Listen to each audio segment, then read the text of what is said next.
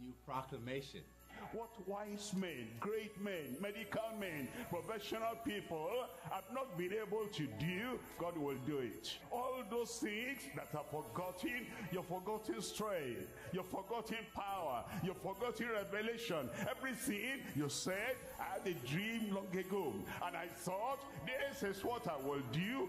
I've forgotten now. Your forgotten vision will come up again. Passion will come up again. Revelation will come up again. New life will come up again in your life in Jesus' name. Only Christ Jesus has the power of this new year. An unforgettable encounter beckons. We are connecting to the God of wonders this new year for salvation and deliverance.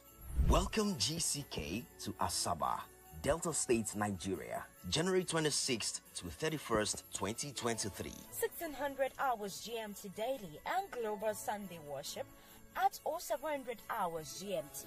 Also featuring ministers and professionals conference with Impact Academy for Youth, Young Adults, and Young Professionals. It's a new year of wonders this 2023.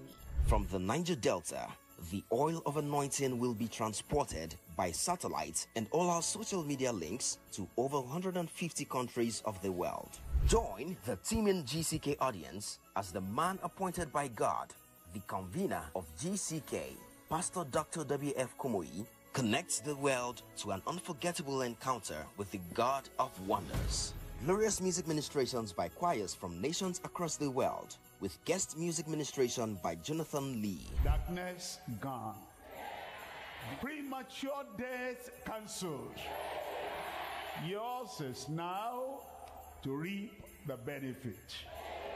GCK, the gospel to every creature. Let us pray. Father, we bless your name for bringing us together for the Bible study tonight. Bàbá wa fi ìbùkún fún orúkọ yín pé ẹ mú wa wá papọ̀ fún ẹ̀kọ́ bíbélì ti We àṣálẹ́ thank yìí. you for the privilege of gathering together from these various districts. A dúpẹ́ fún àǹfààní kíkójọpọ̀ láti oríṣiríṣi àwọn ẹkùn And we wọ̀nyí. pray that our meeting together will be richly blessed of you in Jesus' name. A sì ń gbàdúrà pé kí ẹ̀kúnrẹ́rẹ́ ìbùkún yín kí ó wà lórí ìpéjọpọ̀ wa lónìí ní orúkọ Jésù. Grant us hearts interested in your word. Ẹ fún wa ní ọkàn tí ó ní ìfẹ́ sí ọ̀rọ̀ yín. And help us to take in your word. Ẹ sì ràn wá lọ́wọ́ kí a lè gba ọ̀rọ̀ yín That sínú we ọkàn may wa. get the best out of your word in Jesus' name. Kí àwa kí ó lè gba èyí tó dára jù láti inú ọ̀rọ̀ yín ní orúkọ Correct Jésù. whatever is wrong in our lives. Ohunkóhun tí ó lòdì nínú ayé wa ẹ tún ṣe And put olúwa. us in the path of righteousness. Kí ẹ sì fi ẹsẹ̀ wa lé ipa ọ̀nà òdodo. We thank you because we know you have answered. Ẹ ṣeun nítorí àmọ̀ pé ẹ ti dáhùn. In Jesus' name we pray. Ní orúkọ Jésù ni a gbàdúrà. Already our time is gone. Àkókò wa ti lọ ná. I hope that in the next combined service we'll be able to do things quicker, settle down in time, so we can have a major part of our time devoted to the Word of God. Mo lérò pé nínú ìpàdé aláṣepọ̀ wa tí a ó máa ṣe ní ọjọ́ mìíràn, a ó lè tètè bẹ̀rẹ̀ gbogbo ní àkókò. A ó sì lè ṣe gbogbo ní ṣókíṣókí kí a bá lè fi àkókò tí ó pọ̀ sílẹ̀ fún ọ̀rọ̀ Ọlọ́run. Tonight we have a Bible study and we're studying from Colossians chapter 4. Lónìí, a ó máa ní ẹ̀kọ́ Bíbélì wa, a ó sì máa kẹ́kọ̀ọ́ láti inú ìwé Kólósì orí kẹrin. We have been following a series of studies in Colossians. A ti ń tẹ̀lé àwọn ẹ̀kọ́ ọ̀rọ̀ Ọlọ́run ní sísẹ̀ntẹ̀lé nínú ìwé Kólósì. And we've done many studies in Colossians. Ọ̀pọ̀lọpọ̀ ẹ̀kọ́ ni a sì ti kọ́ nínú ìwé Kólósì. Tonight we come to a very important subject. Ní àṣálẹ́ a wá sórí kókó kan tí ó ṣe It pàtàkì. is a study that will determine whether we'll be able to make progress in our Christian lives or will not be able to make progress. Ó jẹ́ ẹ̀kọ́ tí yóò pinnu bóyá ó lè ní ìtẹ̀síwájú nínú ìgbé ayé Kírísítẹ́nì wa tàbí a kò ní lè tẹ̀síwájú. It is a study that will determine whether our families, our marriages will be built soundly on the Word of God, on the grace of God or not. Ó jẹ́ ẹ̀kọ́ tí yóò pinnu bóyá ìgbéyàwó wa àti ẹbí wa a ó gbé a ó sì kọ́ lórí ẹ̀kọ́ ọ̀rọ̀ Ọlọ́run àti orí ọ̀fẹ́ Ọlọ́run tí ó lágbára. It's a study that will reveal whether we'll be able to keep our friends, associates, and neighbors, or maybe we'll not be able to keep them. Ó jẹ́ ẹ̀kọ́ tí yóò fi hàn wá bóyá ó lè pa àwọn ọ̀rẹ́, àwọn ẹlẹgbẹ́ àti àwọn ojúlùmọ̀ wa mọ́ tàbí a kò ní lè pa ìbáṣepọ̀ wa pẹ̀lú wọn mọ́. It's a study that will show whether we'll be successful and effective in the ministry, in the work of the Lord, or maybe we'll not be able to. ó jẹ́ ẹ̀kọ́ tí yóò fi hàn bóyá a ó jẹ́ aláṣeyọrí sí rere aláṣeyege nínú iṣẹ́ ìránṣẹ́ àti iṣẹ́ olúwa tàbí bí a kò ní lè ṣe. It's a study that will determine whether our prayer life will be recognized by heaven our prayer life will just be neglected by God. ó jẹ́ ẹ̀kọ́ tí yóò pinnu bóyá ìgbé ayé àdúrà wa yóò jẹ́ èyí tí ọ̀run wárí fún tàbí ìgbé ayé àdúrà tí ọlọ́run kò ní bìkítà nípa rẹ̀. And it's a study that shows the very index of our Christian life, whether we're real Christians or we're not real Christians. ó sì jẹ́ ẹ̀kọ́ tí ó ń fi irú onígbàgbọ́ tí a jẹ́ gan hàn bóyá onígbàgbọ́ ojúlówó ni tàbí ayédèrú onígbàgbọ́. It's the most important subject neglected by many people, many assemblies, and many churches. ó jẹ́ ẹ̀kọ́ tí ó ṣe pàtàkì tí ó ṣe kókó tí ọ̀pọ̀lọpọ̀ àwọn ìjọ àti ẹlẹ́yàmẹ̀yà ti wọn kò sì náà ní It's nípa a rẹ̀. study that if we had time, we would have gone to Genesis almost all through the various books of the Bible to bring out the essence, the importance of the study we have tonight. ó jẹ́ ẹ̀kọ́ tí ó jẹ́ pé bí ó bá jẹ́ tí àkókò wà bẹ́ẹ̀ ni àbá ti bẹ̀rẹ̀ láti ní ìwé genesis kí a máa wo àwọn ìwé Ọlọ́run ní kọ̀ọ̀kan kí a sì mú àwọn ẹ̀kọ́ tí ó ṣe kókó jáde. Would have been able to touch on the various commandments relating to this subject. àbá lè mẹ́nu bo onírúurú àwọn òfin tí ó ń sọ nípa kókó yìí. Able to relate to you all the promises that accrue, that come to the people that obey what is given in this subject. àbá sì tún lè fi àwọn ìlérí tí yóò jẹ́ ti gbogbo àwọn tí ó bá pa ọ̀rọ̀ Ọlọ́run yìí mọ́ Would have been able to buttress everything we say by many examples from all over the Bible. àbá lè fi ọ̀pọ̀lọpọ̀ àwọn àpẹẹrẹ láti ní ìwé mímọ́ ti ohun gbogbo tí à ń sọ lẹ́yìn fún I ọ. have been able to show you the many people that have stumbled in the past and are stumbling now because of the neglect of this subject. àbá tún lè fi ọ̀pọ̀lọpọ̀ àwọn ènìyàn tí wọ́n ti ṣubú tẹ́lẹ̀ àti àwọn tí ó ń ṣubú nísinsìnyí nítorí pé wọn kò náà ní kókó tí à ń mẹ́nu bà I would have been able to show you the success, the effectiveness, the power, the authority, and the promotion spiritually of the people that took note of a subject like this. àbá tún lè fi àṣeyọrí sí rere àṣeyege àti ìṣẹ́gun nípa ti ẹ̀mí nínú ayé àwọn tí ó jẹ́ pé wọ́n kọjú mọ́ wọ́n sì ṣe ohun gbogbo tí ẹ̀kọ́ yìí ń sọ fún wa. But even though we have a short time, I still want you to pay close attention. ṣùgbọ́n bí ó tilẹ̀ jẹ́ pé àkókò kúkúrú ni a ní síbẹ̀ mo fẹ́ kí o tẹ́tí sílẹ̀ gidigidi. For those who are new in our Bible study, maybe today is your first time of coming, or you have not taken note of what we do at Bible study. It may surprise you that we're keeping to just one verse of Scripture. fún àwọn tí wọ́n jẹ́ ojú tuntun láàárín wa nínú ẹ̀kọ́ bíbélì yìí tàbí àwọn tó ṣẹ̀ṣẹ̀ wá lónìí fún ìgbà àkọ́kọ́ tí wọn kò sì mọ bí a ṣe máa ń ṣe ẹ̀kọ́ bíbélì wa tẹ́lẹ̀ ó lè yọ lẹ́nu pé ẹsẹ̀ ọ̀rọ̀ ọlọ́run kan ṣoṣo ni à ń kẹ́kọ̀ọ́ lé lórí lálẹ́ yìí. It may surprise you too that I say I don't have enough time to dig into this one single verse and preach about it and interpret it and explain it and apply it to you so much that you'll get the fullness of what is in this verse. ó tún lè máa yà ọ́ lẹ́nu pẹ̀lú pé mo wí pé n kò ní àkókò tó fún ẹsẹ̀ ọ̀rọ̀ Ọlọ́run- ọ̀rọ̀ ọ̀rọ̀ ọlọ́run kan ṣoṣo yìí láti ṣe àwàjinlẹ̀ láti ṣe àlàyé láti wàásù láti kọ́ ní ọ̀nà tó jẹ́ pé ó gbẹ ẹ̀kúnrẹ́rẹ́ ohun gbogbo tí ó wà nínú rẹ̀. Look at the verse, Colossians chapter 4, verse 6. ẹ jẹ́ kí a wo ẹsẹ̀ náà Kólósè orí kẹrin ẹsẹ̀ ìkẹfà. Let your speech be always with grace, seasoned with salt, that ye may know how ye ought to answer every man. Ẹ jẹ́ kí ọ̀rọ̀ yín kí ó dàpọ̀ mọ́ oore ọ̀fẹ́ nígbà gbogbo èyí tí a fi dùn kí ẹ̀yin kí ó lè mọ̀ bí ẹ̀yin ó ti máa dẹ olúkúlùkù ènìyàn lóhùn. Let your speech. ẹ jẹ́ kí ọ̀rọ̀ yín You see, the word let is telling you that there is a struggle. And the devil will struggle to take your speech to himself. The Lord, on the other hand, is struggling and pleading with you to control your speech. You stand as a third person. And he says, look this side, the devil wants to make your speech go astray. Look that side, the Lord wants to control your speech. You come in as a third person. He says, you determine which direction your speech will go. Let your speech. ọ̀rọ̀ yìí tí a pè ní jẹ́ ó ń fi hàn wá wípé ìlàkàkà tàbí ìjàkadì kan bẹ níbẹ̀ ó wá túmọ̀ sí pé o ní ojúṣe kan láti ṣe nípa ọ̀rọ̀ tí ò ń sọ ó ń fi hàn wá wípé ní apá kan a rí èṣù tí ó ń fẹ́ kí o sọ ọ̀rọ̀ tí ó lòdì tàbí kí o ṣe ahọ́n rẹ lò níbẹ̀ ní apá kejì ni a rí jésù kristi olúwa tí ó ń fẹ́ kí o lo ahọ́n rẹ ní ọ̀nà tí ó tọ́ ní ọ̀nà tí ó péye ìwọ ni wá jẹ́ ẹnìkẹta tí ó wà láàárín ó wá wí pé ẹ jẹ́ kí èyí túmọ̀ sí pé ìwọ tí ó wà láàárín ni ó pinnu tí o fẹ́ tẹ̀ sí bóyá kí o gbọ́ ti olúwa tàbí kí o tẹ̀ sí ti The sàtánì. word led is calling upon you because you are free moral agent. You have the ability to choose. You have the ability to decide. You have the ability to go to the right or to go to the left, to speak right or to speak wrong. And it says now you make use of that free moral agency. Make use of your free volition. Make use of the liberty that God has given you and all the resources of grace available to you. And you make sure that you tend the right way and let your speech be always with grace. Ọ̀rọ̀ yìí tí a pè ní ẹjẹ́ pàápàá èyí tí ó sọ pé jẹ́ ó ń fi hàn wá wípé a ti dá ènìyàn a sì ti fún un ní àǹfààní àti àṣẹ láti ṣe ohun tí ó bá wù ú tàbí láti yan ohun tí ó bá wù ú. Gẹ́gẹ́ bí ènìyàn tí a ti dá tí a sì ti fún ní àṣẹ tàbí agbára láti yan ohun tí ó bá wù ú ó wá wípé ìwọ ni ó yàn. Yálà kí o lo ọ̀rọ̀ rẹ ní ọ̀nà tí ó lòdì tàbí kí o lo ọ̀rọ̀ rẹ ní ọ̀nà tí ó dára ó wá wípé ẹ jẹ́ kí ọ̀rọ̀ yín kí ó dàpọ̀ mọ́ oore ọ̀fẹ́ nígbà gbogbo. And it says, let your speech be always with grace.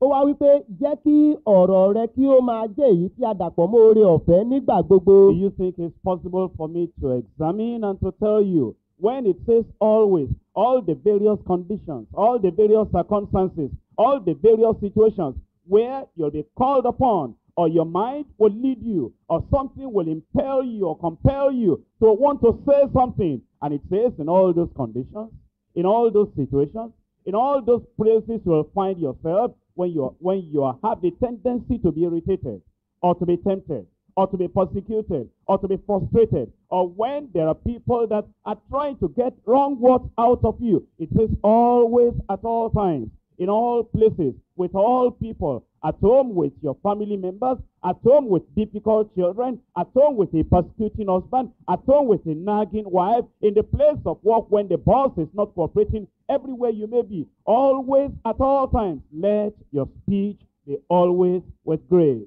Tí mo bá lè ṣàlàyé ọ̀rọ̀ yìí tí a pè ní nígbà gbogbo fún ọ ohun tí ó ń sọ níbẹ̀ gan ni pé ní gbogbo àkókò nínú gbogbo àyídáyidà nínú ohunkóhun tí ó lè máa ṣẹlẹ̀ sí ọ pé nígbà gbogbo bóyá nígbà gbogbo nínú ẹbí nígbà tí ó dàbí ẹni pé ara ń ni ọ́ nígbà tí ó dàbí pé o ti sún kan ògiri nígbà tí ó dàbí pé o ti sú ọ o ti ta gbogbo ipá rẹ ó sì dàbí ẹni pé o ti ṣe tó lè ṣe. Ṣùgbọ́n síbẹ̀ nígbà gbogbo pẹ̀lú ọkọ tí ó dàbí pé ó ń ṣini gbọ́ pẹ̀lú aya tí ó jẹ́ ẹni tí kì í mòye ohun tí ènìyàn ṣe nígbà gbogbo pẹ̀lú àwọn ọmọ tí wọ́n jẹ́ àwọn ọmọ tí kì í fẹ́ tẹríba pẹ̀lú ọ̀gá níbi iṣẹ́ tí ó jẹ́ òǹrorò ó wí pé nígbà gbogbo kí ọ̀rọ̀ rẹ kí ó dàpọ̀ mọ́ oore ọ̀fẹ́.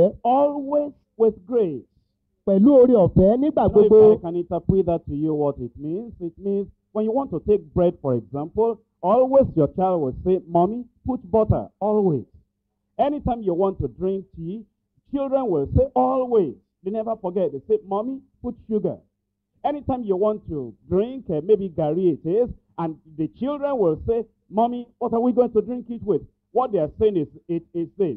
It must never be without sugar. Never without butter.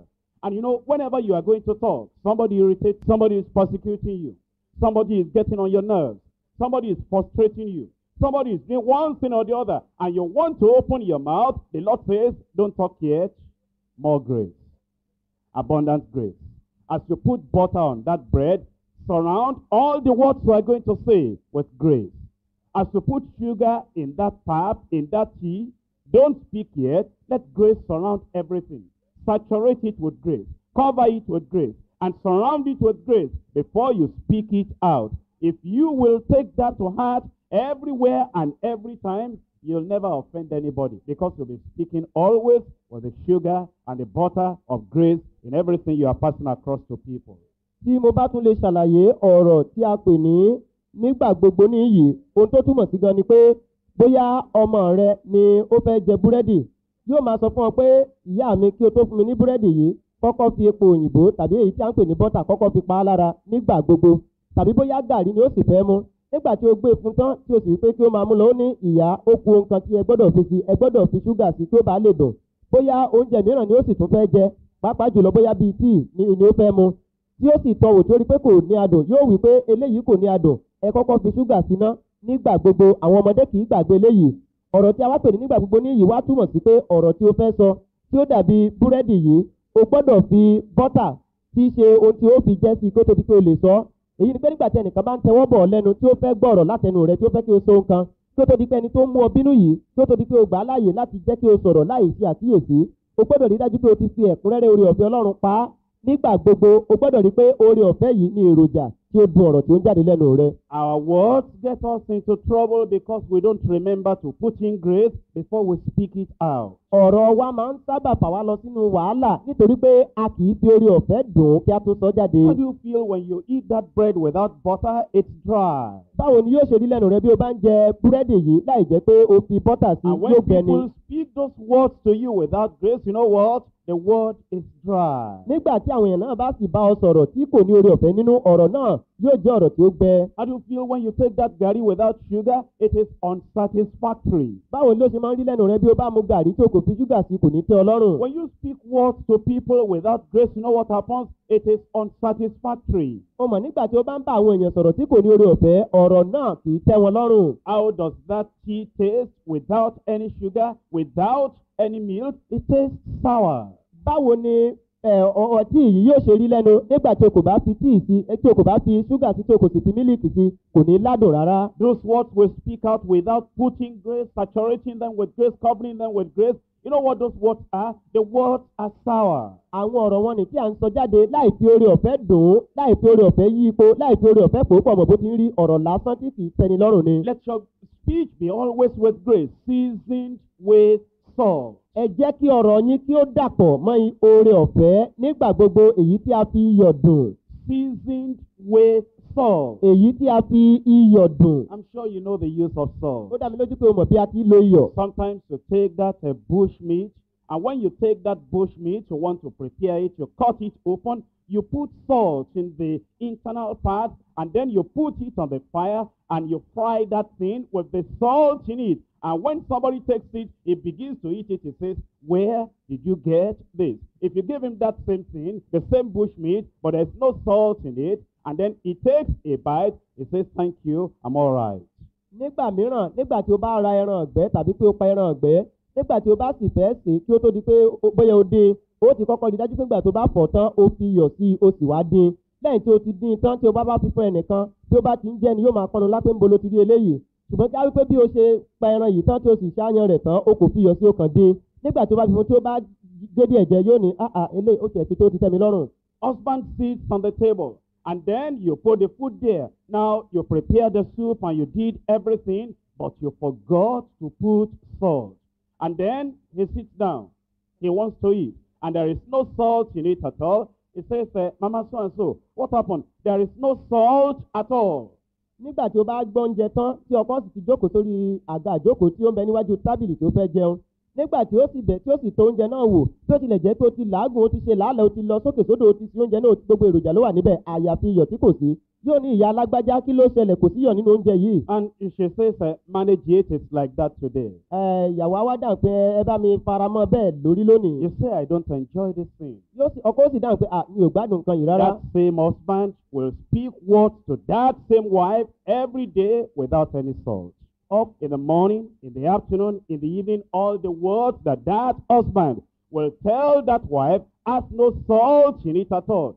You can't take a single meal without salt. You give words to your wife without salt 365 days of the year.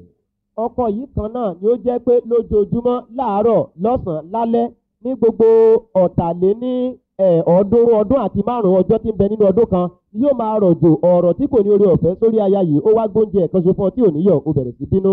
Don't speak without seasoning that thing with salt. má ṣe sọ̀rọ̀ kankan láì jẹ́ pé o fi iyọ̀ dùn. And it says that ye may know how ye ought to answer every man. ó sì tún wá wípé kí ẹ̀yin kí ó lè mọ̀ bí ẹ̀yin ó ti máa dá olúkúlùkù ènìyàn lóhùn. Do we have time to exhaust what it means? Every man. You speak to the bus conductor. You speak to your boss in the office. You speak to your teacher at school. You speak to your leaders in church. You speak to the subordinates in the house fellowship. You speak to a stranger that you are just meeting. Every man, no matter where you are meeting them, make sure that let your speech be always with grace, seasoned with salt, that ye may know how ye ought to answer every man under the sun. bí àkókò bá wà tó láti ṣàlàyé ọ̀rọ̀ tí a pè ní olúkúlùkù ènìyàn ní iyì ohun tí ó ń sọ gan ni pé agbowó ọkọ̀ tí ó ń gbowó ọkọ̀ nínú ọkọ̀ èrò. Ó tún sọ nípa ọ̀gá iléèwé tí ó ń kọ́ níléèwé ó ń sọ nípa agbanisíṣẹ́ tí ó gbà ọ́ síṣẹ́ ó ń sọ nípa ẹni nì tí ó jẹ́ ọ̀gá fún níbi iṣẹ́ ó sọ nípa ọkọ rẹ nínú ẹbí tàbí ìyàwó rẹ nínú ẹbí ó sọ nípa àwọn ọmọ ó sọ nípa àjèjì tí o kò rí rí ó sọ nípa àlejò tí o kò mọ̀ rí pé nígbàkúgbà tí o bá fẹ́ yẹ ẹnu rẹ jẹ́ kí ọ̀rọ̀ yín kí ó dàpọ̀ mọ́ oore ọ̀fẹ́ nígbà gbogbo èyí tí a fi yọ̀dùn kí ẹ̀yin kí ó lè mọ̀ bí ẹ̀yin ó ti máa dá olúkúlùkù ènìyàn lóhùn. I told you this study is very important. mo sọ fún yín pé ẹ̀kọ́ yìí ṣe pàtàkì. And already you will see from the little I have said on that verse 6 how important it is. Nínú díẹ̀ tí mo ti sọ nínú ẹsẹ̀ nípa ẹsẹ̀ kẹfà yìí ó mọ̀ bí ẹ̀kọ́ náà ti ṣe pàtàkì tó. It is the neglect of the teaching of this verse that brings divorce, that brings breakage in our family. àìbìkítà àti àìnáání ẹsẹ̀ ọ̀rọ̀ ọlọ́run tí a kà yìí ni ó mú kí àwọn ọkọ àti aya kí wọ́n pínyà tàbí kí wọ́n kọ ara wọn sílẹ̀ pátápátá. This is what uh, develops into fighting and beating one another, whether in the bus stop or in the motor park or at the garage or on the road. Whenever you see two people fighting, somebody has spoken word without grace. Somebody has spoken word not seasoned with salt.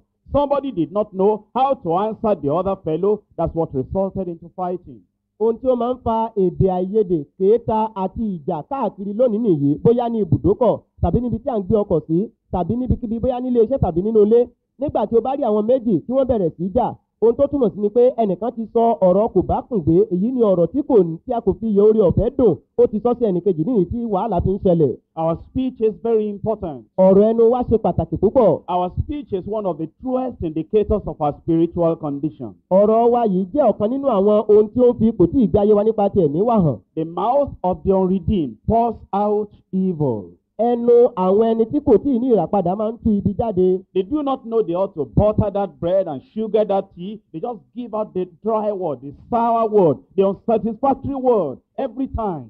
wọn kò mọ̀ pé wọ́n ní láti fi ṣúgà sí tíì nì wọ́n ní láti fi bọ́tà sí búrẹ́dì wọn bẹ́ẹ̀ pẹ̀lú wọ́n ní láti fi ṣúgà sí gàrí tí wọ́n fẹ́ mu wọ́n á kàn sọ ọ̀rọ̀ náà lásán ọ̀rọ̀ sákálà ọ̀rọ̀ tí kò níyọ̀ tí kò ládùn. The mouth of the unredeemed will pour out lust and deceit, ẹnu ẹni tí kò tí ì ní ìràpadà yóò máa tú ìfẹ́kúfẹ́ àti ẹ̀tàn jáde. Will pour curses and lies, yóò máa tú ègún àti irọ́ jáde. Perversity and vanity, ọ̀rọ̀ àrékèrèkè àti ọ̀rọ̀ asán. Flattery and foolishness, ìyìn èké ìpọ́nni àti wèrè.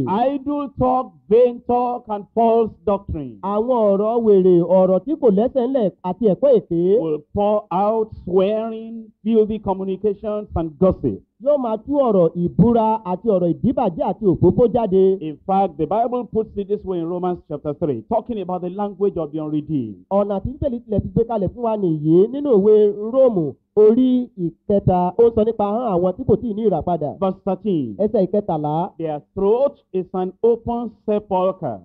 With their tongue they have used deceit. The poison of asps is under their lips, whose mouth is full of cursing and bitterness. ìsà òkú tí ó ṣí sílẹ̀ ní ọ̀fun wọn ahọ́n wọn ni wọ́n fi ń ṣe ìtànjẹ oró pamọ́lẹ̀ ń bẹ lábẹ́ ètè wọn ẹnu ẹni tí ó kún fún èpè àti fún ọ̀rọ̀ kíkorò. Normally, sepulchre is the tomb. It's where you bury dead people. Normally, when you bury somebody, you cover that tomb so that the, the uh, odor will not be coming out to disturb the people living around. ìsà òkú ni à ń pè ní ibojì tàbí sàárè níbi tí à ń sin òkú sí ó sì mọ̀ pé nígbà tí o bá ti gbé òkú sínú sàárè tán ó da yẹ̀pẹ̀ bò ó mọ́lẹ̀ kí òórùn rẹ̀ má bàa máa jáde kí wọ́n má bàa máa dí àwọn ènìyàn lẹ̀ lọ́wọ́. But it said these people, the unbelieving people, the unredeemed people, their throat it is, is a sepulchre, not a covered sepulchre, it's an open sepulchre. Ṣùgbọ́n ó wá sọ nípa àwọn èèyàn wọ̀nyí níyì àwọn aláìgbàgbọ́ àwọn ẹni tí kò tíì ní ìràpadà pé ahọ́n wọn yìí ọ̀fun wọn ó jẹ́ ìsà òkú kì í ṣe ìsà òkú tá a ti bò mọ́lẹ̀ ṣùgbọ́n ìsà òkú tó ṣí sílẹ̀. He said, with their tongue they have used deceit. ó ní ahọ́n wọn ni wọ́n fi ń ṣe ìtànjẹ. And you know there is deceit everywhere among the unredeemed. ó sì mọ̀ pé níbi gbogbo láàárín àwọn tí kò ní ìràpadà ní ìtànjẹ wà. Among the unbelieving, unsaved people, there is deceit everywhere. láàárín àwọn aláìgbàgbọ́ àwọn tí kò tíì ní ìgbàlà ìtànjẹ jẹ́ kárí ayé láàárín wọn. The poison of asp is under their under their leaves. oró pamọ́lẹ̀ ń bẹ lábẹ́ ètè wọn. Now you may take all this to be figurative language. ó kàn lè máa wo àwọn ọ̀rọ̀ yìí gẹ́gẹ́ bí ọ̀rọ̀ ajúwe lásán nípa tòwe. You may take it to mean that the apostle is just writing this how can poison be under the lips of a human being? ó lè máa rò wípé àpọ́sẹ́lì yìí kàn ń po eléyìí láti ṣe àkàwé ni pé báwo ni oró ṣe lè wà lábẹ́ ètè àwọn ẹnìkan. If you know how an unbelieving husband will talk to a wife, and with, because of the talking, the negative talking, the shouting, the screaming, and everything that is said, the woman has hypertension. Her life has been poisoned by the words coming from the unregenerate man. bí ó bá mọ ọ̀nà tí aláìgbàgbọ́ ọkọ fi máa ń bá aya rẹ̀ sọ̀rọ̀ àwọn ọ̀rọ̀ tí ó le àwọn ọ̀rọ̀ tí ó kún fún ìbínú àti ìrunú tí yóò máa tú u lé lórí tó bẹ́ẹ̀ gẹ́ tí ó jẹ́ pé obìnrin yóò ní ìpòrúurù yóò sì ní ẹ̀jẹ̀ gbóná yóò sì kí ẹ̀mí rẹ̀ kúrú oró pamọ́lẹ̀ nílé yìí lábẹ́ àwọn ọkùnrin náà. If you know how some unbelieving people, and some people who say they are believers, but really they are still unbelieving. If you know the way they will speak to little children, and they will speak and speak bitter words, angry words, cutting words, terrible words, that the moment that child hears the voice of that person coming from afar, already there is fear, there is sweating all over the body, and the child is shaking like this, and the child does not know himself anymore. What's the matter? The system of that child has been poisoned by the words coming out of that man to that child. bí o bá mọ ọ̀nà tí àwọn aláìgbàgbọ́ kan fi máa ń sọ̀rọ̀ àwọn àti àwọn onígbàgbọ́ àwọn mìíràn tí wọ́n wí pé wọ́n jẹ́ onígbàgbọ́ ṣùgbọ́n nítòótọ́ tí wọ́n jẹ́ aláìgbàgbọ́ ọ̀nà tí wọ́n fi máa ń lo ahọ́n wọn láti bá ọmọdé sọ̀rọ̀. Tó bẹ́ẹ̀ gẹ́ tí ó jẹ́ pé nígbà tí wọ́n bá ti tú ọ̀rọ̀ náà jáde tán ọmọ náà yóò bẹ̀rẹ̀ sí gbọ̀n jìnnìjìnnì yóò máa bẹ̀rù yóò máa wárìrì. Tó bẹ́ẹ̀ gẹ́ tí ó jẹ́ pé òògùn yóò bò mọ́lẹ̀ nígbà mìíràn tí irú ọmọ bẹ́ẹ̀ bá ti gbọ́ ohun irú ẹni bẹ́ẹ̀ jìnnìjìnnì yóò bò mọ́lẹ̀ nítorí pé gbogbo omi àti ẹ̀jẹ̀ ara rẹ̀ ni ọ̀rọ̀ búburú oró yìí ti wọ ọkàn rẹ̀ lọ láti ọ̀dọ̀ aláìgbàgbọ́ yìí. This poison we're talking about is what makes a person comes into a particular place now. Before he came, you've been happy, you've been praising the Lord, you've been reading the promises of God, and you've been saying, I praise the Lord, I'm a Christian, I praise the Lord for what he has done. This fellow will come in and he will say something, something very sharp, something very sour, something very discouraging, something very cutting, something that you will just look for. You will want the ground to open and you just enter in. And what he says, you'll be covered with shame and sorrow. He drops that poison and he has gone. That thing he says for five minutes, one year you have not forgotten. oró pamọ́lẹ̀ yìí ó ní ohun tí ó máa ń farahàn nínú ahọ́n ẹnìkan tí ó bá wá sínú ẹbí kan kí onítàn tó dénú ẹbí náà ni wọ́n ti ń ẹbí yìí ti ń yọ̀ tí wọ́n ti ń yin olúwa lógo inú wọn dùn tí wọ́n sì ń dúpẹ́ lọ́wọ́ ọlọ́run fún gbogbo tí ọlọ́run ń ṣe fún wọn ṣùgbọ́n ní kété tí ó wọlé láàárín ìṣẹ́jú márùn-ún tí ó bẹ̀rẹ̀ sí sọ ọ̀rọ̀ kíkorò ọ̀rọ̀ búburú ọ̀rọ̀ tí ń panirun ọ̀rọ̀ tí ó jẹ́ pé ó máa ń mú kéèyàn máa ronú kí ó máa sunkún àsun ìdábọ̀ láàárín ìṣẹ́jú márùn-ún yìí tí ó ti tú oró pamọ́lẹ̀ yìí jáde ó gbogbo tí ó ti dá sílẹ̀ yìí láàárín ọdún kan gbáko oró rẹ̀ kò ní tán nínú ẹbí náà. Whose mouth is full of cursing and bitterness. Ẹnu ẹni tí ó kún fún èpè àti ọ̀rọ̀ kíkorò. Some families are just full of bitterness and cursing. àwọn ẹbí kan wà tí ó jẹ́ pé wọ́n kún fún ọ̀rọ̀ kíkorò àti ọ̀rọ̀ ìbínú. In the bedroom, it's all curse. They begin to curse one another. nínú yàrá ibi tí wọ́n ń sùn èpè ni wọ́n bẹ̀rẹ̀ sí fi ara wọn ré. At the backyard, when they are going to toilet or when they are going to bathroom, all that comes out is curse. lẹ́yìn kùlé ńkọ́ tí wọ́n bá fẹ́ lọ sí ilé ìlòsí tàbí wọ́n fẹ́ lọ wẹ̀ gbogbo ọ̀rọ̀ tó ń jáde lẹ́nu wọn ọ̀rọ̀ èpè ni. They sit down at the sitting room and they start with a nice conversation, just discussing together, husband and wife, or those who are living together. In five minutes, everything will change. Cursing has started again. nígbà tí wọ́n bá tún jókòó síbi tí wọ́n ti ń najú tàbí tí wọ́n gba àlejò sí tí wọ́n sì bẹ̀rẹ̀ ọ̀rọ̀ ọkọ àti aya ọ̀rọ̀ tí ó dára láàárín ìṣẹ́jú márùn-ún yóò ti yí padà wọ́n ti bẹ̀rẹ̀ ìpè. No matter where you get in that house, in that uh, community, every anywhere you go, they just be throwing curses at one another. You will never do well. You will not stay in this house. I, you, I will get rid of you. Eh, You are the one that is making my business to collapse. This is what will happen to you. Except my father is not my father. And uh, when you when you check up, they have three, four Bibles. One Bible at the sitting room, one Bible in the in the room, one Bible everywhere. Bible everywhere, but cursing and bitterness fills the house. ní irú àdúgbò tàbí àwùjọ bẹ́ẹ̀ èpè àti ọ̀rọ̀ kíkorò kì í kúrò lẹ́nu wọn yóò máa wí pé ìwọ obìnrin yìí ìwọ ló ń ṣekú pa mí ìwọ ló ń ṣe mí ìwọ ló ń ni mí lára ìwọ ni o kò jẹ́ kí okòwò mi kó yọrí sí rere mọ́ nítorí náà báyìí ni yóò rí àfi bí bí ìbá ṣe bàbá mi ló bí wá jẹ́ bàbá mi ló bí mi síbẹ̀ wọ́n rí dájú pé ìwọ pẹ̀lú tí ò bá tí ò bá rọ okùn ara ò lè rọ adìẹ èpè àti ọ̀rọ̀ búburú ni ó ń jáde lẹ́nu wọn nígbà gbogbo That's you see why we don't have peace in our families. ìdí nìyí tí a kì í fi ní àlàáfíà nínú ẹbí wa Because we say we're redeemed, but our mouth is not converted. nítorí pé à ń wí pé a ti ní ìràpadà ọkàn ṣùgbọ́n síbẹ̀ ẹnu wa kò tíì ní ìyípadà I ọkàn. am born again. Our mouth is not born again. A ti di àtúnbí ṣùgbọ́n ẹnu wa kò di àtúnbí. I am a child of God. Our mouth does not follow us to the kingdom of God. mo ti di ọmọ ọlọ́run ṣùgbọ́n ẹnu wa kò ní bá wa lọ síjọba ọlọ́run. Tonight I pray that God will change us. lálẹ́ yìí àdúrà mi ni pé kí ọlọ́run kí ó yí wa padà. Let's look at three points. ẹ jẹ́ kí a wo kókó mẹ́ta. Number one, grace in the heart. àkọ́kọ́ oore ọ̀fẹ́ nínú ọkàn. Number two, speech, grace, and salt. èkejì ọ̀rọ̀ oore ọ̀fẹ́ àti iyọ̀. Number three, answering to edify. ẹ̀kẹta dídáhùn láti gbéni ró. You see, before our language, our speech, our conversation can be what it ought to be, there must be grace in the heart. ó mọ̀ kí ó tó di pé ọ̀rọ̀ wa èdè wa àti ohun tí ó ń jáde lẹ́nu wa ó jẹ́ èyí tí ó ń gbéni ró oore ọ̀fẹ́ gbọ́dọ̀ wà nínú ọkàn wa. You cannot draw water out of a dry well. o kò lè fọ́n omi jáde nínú kànga tí kò sómi nínú rẹ̀. You cannot take food out of an empty cupboard. o kò lè gbóúnjẹ jáde láti inú àpótí tí à ń gbóúnjẹ sí tí kò You lóúnjẹ nínú. cannot pour oil out of an empty bottle. o kò lè dá epo jáde láti inú ìgò tí kò sépo nínú rẹ̀. You cannot take water out of an empty bucket. bẹ́ẹ̀ pẹ̀lú kò ṣeé ṣe fún ọ láti bu omi jáde nínú garawa tí kò sómi nínú rẹ̀. If we are going to manifest the grace of God in our language, first of all, our hearts must be filled with the grace of God. nítorí náà bí a bá fẹ́ máa fi oore ọ̀fẹ́ ọlọ́run hàn nínú èdè tàbí ìsọ̀rọ̀ wa lákọ̀ọ́kọ́ ná oore ọ̀fẹ́ ọlọ́run gbọ́dọ̀ kún ọkàn wa.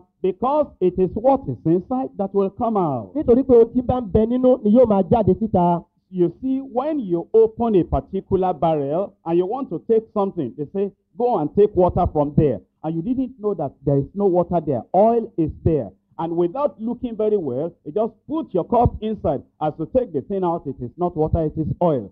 It is what is inside that will draw out. ó mọ̀ nígbà tí o bá fẹ́ lọ bu omi láti ìkòkò tàbí lá- ládùúgbò kan tí wọ́n sì sọ fún ọ wípé lọ bu omi nínú ìkòkò tàbí ládùúgbò ni nígbà tí o ṣí ìwò o ti rò pé omi ló wà níbi o kò rárá bí o ti tẹ ife tó fẹ́ fi bò sínú rẹ̀ báyìí epo tó wà nínú rẹ̀ ló bù jáde ohun tó bá wà nínú ọkàn ni yóò máa jáde látẹnu. That is why the Bible says, out of the abundance of the heart, the mouth speaks. ìdí nìyí tí bẹ́ẹ̀lì fi wípé láti inú ọ̀pọ̀lọpọ̀ ohun tí inú ni ẹnu ń sọ jáde. Matthew chapter 12, verse 34. matthew orí kejìlá ẹsẹ̀ ìkẹrìnlélọ́gbọ̀n. O generation of vipers, how can ye, being evil, speak good things? For out of the abundance of the heart, the mouth speaketh. Ẹ̀yin ọmọ paramọ́lẹ̀ ẹ̀yin tí í ṣe ènìyàn búburú yóò ti ṣe lè sọ̀rọ̀ rere nítorí nínú ọ̀pọ̀lọpọ̀ ohun inú ni ẹnu sọ. It's only when grace has filled our hearts, we'll be able to speak out words of grace. Nígbà tí orí ọ̀fẹ́ ọlọ́run bá ti kún ọkàn wa nìkan ni a ó tó lè máa sọ ọ̀rọ̀ orí ọ̀fẹ́ When jáde. your heart is full of love, you'll be able to speak out words of love. nígbà tí ọkàn rẹ bá kún fún ìfẹ́ ó lè máa sọ ọ̀rọ̀ ìfẹ́ jáde. When your heart is full of truth, you'll be able to draw out words of truth. nígbà tí ọkàn rẹ bá kún fún òtítọ́ ó lè máa fa ọ̀rọ̀ òtítọ́ jáde láti inú ọkàn When rẹ. your heart is full of kindness and compassion, the compassion of Christ just fills your heart. Every compartment of your heart, every part of your heart, what is inside is compassion, kindness. When you speak out, words of compassion and kindness will come out. nígbà tí ọkàn rẹ bá kún fún ìṣoore àti ìkáàánú ìkáàánú bíi ti kristi tí ó jẹ́ pé gbogbo ipa ọkàn rẹ gbogbo igun inú ayé rẹ pátápátá nínú lọ́hùn ìṣoore àti ìkáàánú ló wà níbẹ̀ ọ̀rọ̀ tí ó bá jáde yóò jẹ́ ọ̀rọ̀ ìṣoore àti ti ìkáàánú. When your heart is full of appreciation and gratitude, you just say, I thank God I married this wife. I couldn't have got any other wife better than this. God did this one for me, gave me this wife. When your heart is full of appreciation, the words that will be coming out of your mouth will be words of appreciation and gratitude. nígbà tí ọkàn rẹ bá kún fún ìmọrírì àti ìmoore ọ̀rọ̀ tí yóò máa jáde lẹ́nu rẹ yóò jẹ́ ọ̀rọ̀ ìmọrírì àti ìmoore tí ó jẹ́ pé nígbà gbogbo ohun tí o sọ ni pé olúwa mo dúpẹ́ lọ́wọ́ rẹ fún aya tí o fi fún mi yìí bí kì í bá ṣe ẹni yìí ló fi fún mi ni bí kì í bá ṣe ẹni yìí ni ó jẹ́ aya tí o ti yàn ni tí ó bá jẹ́ ẹlòmíràn mo lọ mú fúnra mi n kò rò pé mo lè ní àlà- àlàáfíà nígbà tí ọkàn bá kún fún irú ìmọrírì àti ìmoore bẹ́ẹ̀ ìmoore àti ìmọrírì yóò máa jáde látẹnu rẹ. When the heart is full of mercy, and in the in your heart just pour, God just pours out His mercy, and the heart is full, very full of the mercy of God. The moment you open your mouth like this, words of mercy will be coming out. nígbà tí ọkàn rẹ bá kún fún àánú tí ó jẹ́ pé ọlọ́run látòkè wá tú àánú yìí sórí rẹ sínú ọkàn rẹ nígbà tí o bá yẹnu rẹ láti sọ̀rọ̀ ọ̀rọ̀ àánú tó kún ọkàn rẹ yìí ni yóò máa jáde síta. Out of the abundance of the heart, A mouth speaketh. nínú ọ̀pọ̀lọpọ̀ ohun inú ni ẹnu ń sọ. As we're talking about grace, speech with grace, that grace will be in our heart first. bí a ti ń sọ̀rọ̀ nípa ọ̀rọ̀ wa pẹ̀lú oore ọ̀fẹ́ oore ọ̀fẹ́ yìí ni ó kọ́kọ́ gbọ́dọ̀ wà nínú ọkàn wa náà. If the heart is not full of the grace of God and the love of God and the mercy of God and the compassion of God, you cannot control the mouth to say anything different from what is inside the heart. bí ọkàn rẹ kò bá kún fún oore ọ̀fẹ́ ọlọ́run tí kò bá kún fún ìfẹ́ ọlọ́run tí kò bá kún fún àánú ọlọ́run o kò lè sọ ohun tí ó- yàtọ̀ jáde nítorí pé ohun tó bá ń bẹ lọ́kàn ni ó máa sọ jáde lẹ́nu. James chapter 3 verse 8. jákọ́bù orí kẹta ẹsẹ̀ ìkẹjọ. But the tongue can no man tame. It is an unruly evil, full of deadly poison.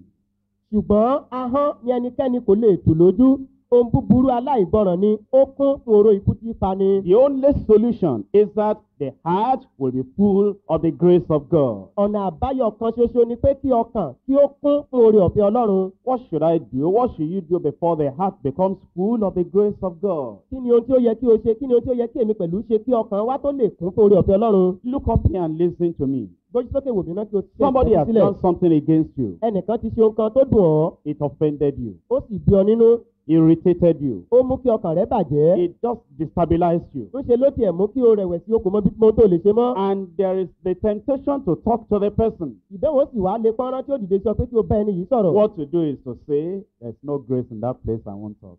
Ohun tí ó yẹ kí o sọ ni pé kò sí oore ọ̀fẹ́ níbẹ̀ n kò ní sọ̀rọ̀. There's no joy inside that place, I won't talk. kò sí ayọ̀ nínú ọkàn níbẹ̀ ni n kò ní sọ̀rọ̀. There's no peace inside that place, I won't talk. kò sí àlàáfíà nínú ọkàn ni n kò ní sọ̀rọ̀. There's no compassion inside that place, I won't talk. kò sí ìkáàánú nínú ọkàn ni n kò ní There sọ̀rọ̀. is no appreciation inside that place, I won't talk. kò sí ìmọrírì nínú ọkàn ni n kò ní sọ̀rọ̀. You go to the Lord in prayer, ó wàá tolúwa lọ nínú àdúrà. and God fills you afresh ọlọ́run yóò sì tún wá kún ọ ní with more grace, pẹ̀lú ẹ̀kọ́ oore ọ̀fẹ́ with more love, pẹ̀lú ìfẹ́ sí i with more pẹ̀lú kindness, sí i with more appreciation. pẹ̀lú ẹ̀mí tí ń mọrírì And sí i. you see yourself loving that person, ó sì wá rí ara rẹ tí o fẹ́ràn ẹni náà. appreciating that person. mọrírì ẹni náà. Now that your heart is full of grace, nísinsìnyí tí ọkàn rẹ wá ti kún fún oore you ọ̀fẹ́. come out to say, Now I can talk.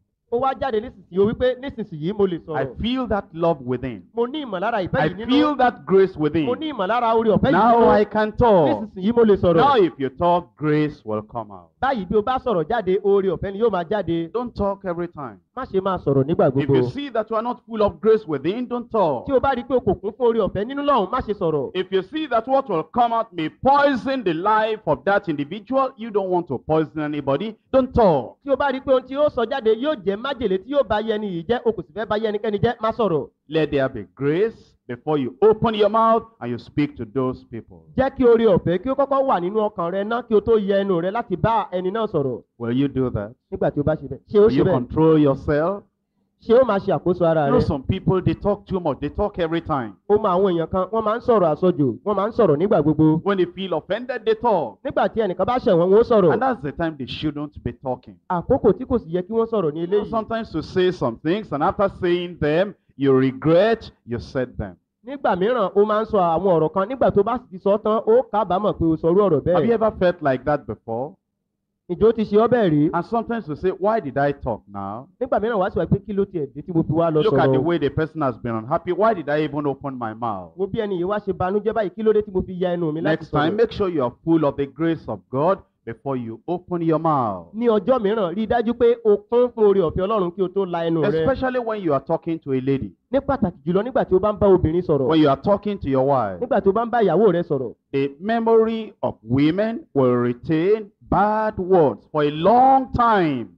Whereas the man, after you have spoken the word, he may feel sorrowful for a little time, but men are normally courageous. They forget all about it. That woman may not forget after men have forgotten. When you speak to women, be very, very careful because may be doing permanent injury into their lives. If you can say something good, then you keep quiet.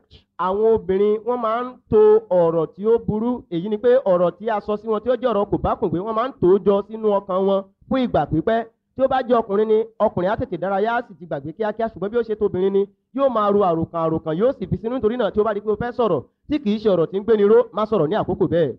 If you do that, there will be more peace in your family. bí o bá lè máa ṣe eléyìí àlàáfíà púpọ̀ sí yóò wà nínú ẹbí rẹ. In 2 Corinthians chapter 1, nínú ìwé kọ́ríńtì kejì orí kìíní I'm looking at it from verse 12. mò ń wò láti ẹsẹ̀ ìkejìlá for our rejoicing is this, that the testimony of our conscience, that in simplicity and godly sincerity, not with fleshly wisdom, but by the grace of God, we have had our conversation in the world. You see that? By the grace of God, we have had our conversation in the world, and more abundantly toward you.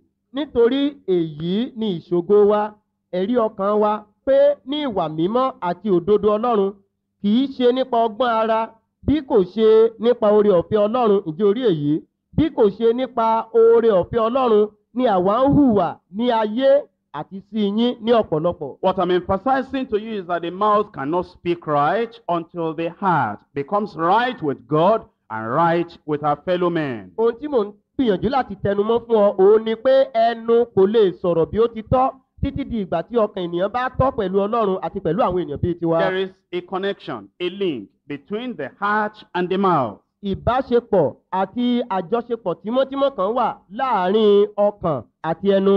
The tongue cannot be tamed until God's grace changes the heart. kò sí ohun tí ó lè dí ahọ́n mọ́ tàbí tí ó lè pa ahọ́n lẹ́nu mọ́ bí kò ṣe wípé orí ọ̀fẹ́ ọlọ́run bá yí ọkàn padà. And it is through conversion that leads to conversion of life, conversion of character, conversion of speech. ìyípadà ọkàn tòótọ́ ni ó sì máa ń mú ìyípadà ìgbé ayé ìyípadà ìwà àti ìyípadà ọ̀rọ̀ wá. The quickest way to recognize that somebody has been converted is that his speech, his talking, his conversation has been converted. ọ̀nà tí ó rọrùn jùlọ láti mọ̀ pé ẹnìkan ti ní ìyípadà ọkàn ó ti ní ìgbàlà tòótọ́ òun ni pé ọ̀rọ̀ rẹ̀ èdè ẹnu rẹ̀ àti ìhùwàsí rẹ̀ ọ̀nà tí ó fi ń báyàn sọ̀rọ̀ ó ti yí padà pátápátá. If your conversation has not been converted, if all the old jokes, old lies, old exaggeration, old deception, old slander, old flattering is still there and there is no change, there is no conversion in what is coming out of your mouth, your heart has not been converted. You are not a child of God. bí o bá wí pé o ti ní ìyípadà ṣùgbọ́n síbẹ̀ tí ó jẹ́ pé ọ̀rọ̀ rẹ kò tí ì yípadà irọ́ àtijọ́ ọ̀rọ̀ ẹ̀fẹ̀ àti yẹ̀yẹ́ àtijọ́ ọ̀rọ̀ àsọrége àti àsọjù ti àtijọ́ gbogbo àwọn ọ̀rọ̀ ọ̀nà tí ó ń gbà sọ̀rọ̀ ní àtijọ́ ni kò tí ì yípadà ẹnu rẹ kò tí ì yípadà nítorí pé ọkàn kò tí ì yípadà o kì í ṣe ọmọ ọlọ́run. Repentance and faith in Christ as Savior brings the heart to the place where you have asked for forgiveness and you receive forgiveness and you receive the grace of God. ìrònúpìwàdà àti ìgbàgbọ́ nínú kristi gẹ́gẹ́ bí olùgbàlà ni ó máa ń mú ọkàn wá sí ibi tí a ti ń béèrè tí a sì ń rí ìdáríjì àti oore ọ̀fẹ́ gbà. It is that grace of God that brings power for change. oore ọ̀fẹ́ ọlọ́run yìí ni ó máa ń mú agbára ìyípadà wá. When we come to Christ and we receive grace from Him, our conduct, our speech will become new, totally different. nígbà tí a bá wá sọ́dọ̀ kristi tí a sì gba oore ọ̀fẹ́ láti ọ̀dọ̀ rẹ̀ ìwà wa àti ọ̀rọ̀ wa máa ń di tuntun yóò yí padà We don't say pátápátá. what we used to say. a kì í sọ àwọn ọ̀rọ̀ tí a máa ń sọ tẹ́lẹ̀ mọ́. We don't think the way we used to think. a kì í ronú ní ọ̀nà tí a ń gbà ronú tẹ́lẹ̀. If you say you are born again, your children will know it by the change of your language. bí o bá wí pé o ti di àtúnbí àwọn ọmọ rẹ yóò mọ̀ nípa èdè rẹ tó ti yí padà. Your husband will know it by the change in your language. Aya rẹ yóò mọ̀ nípa ìyípadà tó ti dé bá ọ̀rọ̀ ẹnu rẹ. Grace in the heart will bring gracious word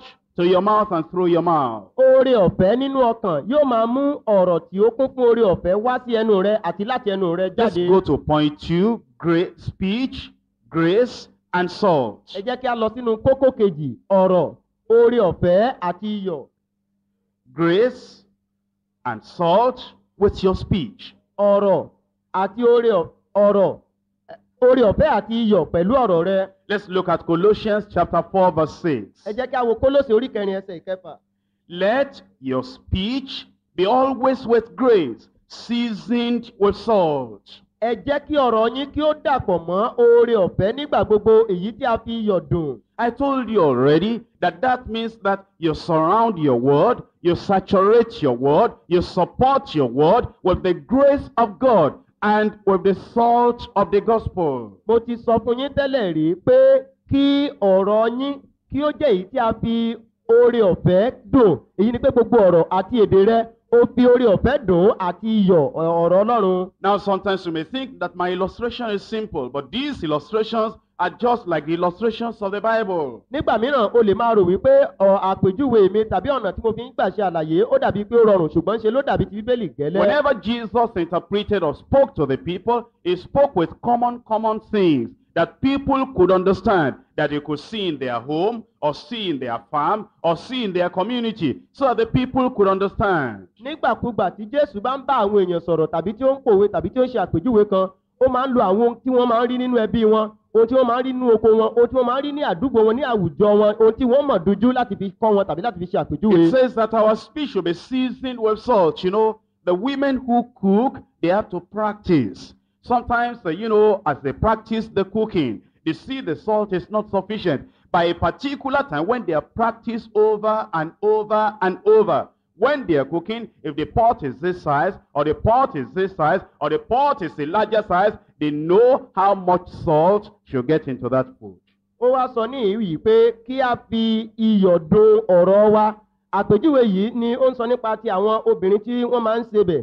Nígbà tí wọ́n bá ń se ọbẹ̀ yìí lọ́wọ́ wọ́n mọ òṣùwọ̀n iyọ̀ tí ó yẹ kí wọ́n fi sínú ọbẹ̀ náà tí ó bá jẹ́ pé ìkòkò ọbẹ̀ kékeré báyìí ni wọ́n mọ iyọ̀ tí ó tó tí ó bá jẹ́ èyí tó tún fẹ̀ tó báyìí ni wọ́n mọ iyọ̀ tó tó tí ó bá jẹ́ èyí tó jẹ́ apẹ́ ńlá ìkòkò tí ó tóbi gan ni wọ́n mọ iyọ̀ tí ó tó tí yóò dùn ó wáyé kí a fi iyọ̀ dun ọ̀rọ̀ wa bẹ́ẹ̀. It is as the women practice to put appropriate salt to appropriate uh, container, it is that way you will put appropriate grace. You see the level of discouragement of that person, you know the level of comfort, the level of encouragement to put in. You see the frustration of that individual, you see the discouragement, you see the temptation, you see the trial, you see the sickness, you see the downward trend or the defeat. The measure of the problem will make you to know how much grace, how much salt you are to put into your word that it will edify and lift up the person you are talking to. It takes practice.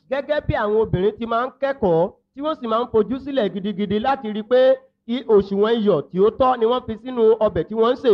Bóyá ìkòkò kékeré ni tàbí èyí tó tún tóbi díẹ̀ sí tàbí èyí tó tóbi gidigidi gan wọ́n ní láti kẹ́kọ̀ọ́ láti mọ irú iyọ̀ tí yóò dùn. Gẹ́gẹ́ bẹ́ẹ̀ náà ni o ní láti kẹ́kọ̀ọ́ láti mọ bí iyọ̀ oore ọ̀fẹ́ tí ó fi dun ọ̀rọ̀ rẹ yóò ti pọ̀ tó.